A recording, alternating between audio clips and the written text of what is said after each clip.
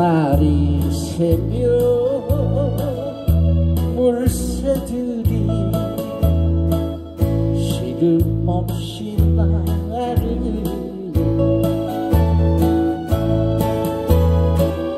꽃 피고 우는 논밭에 묻혀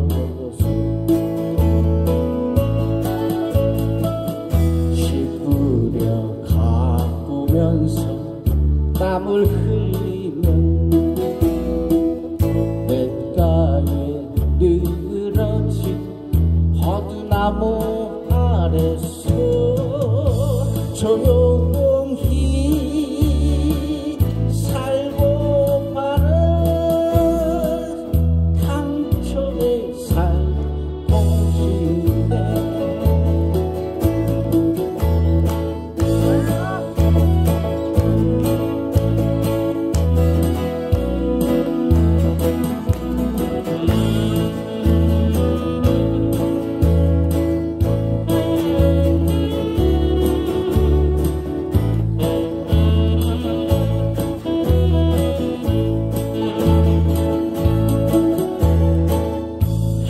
해가 지면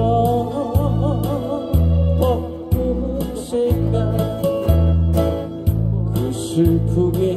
우는 밤 희미한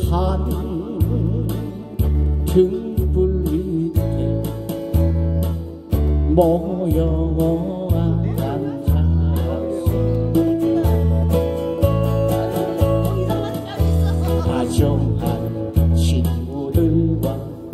정을 나누며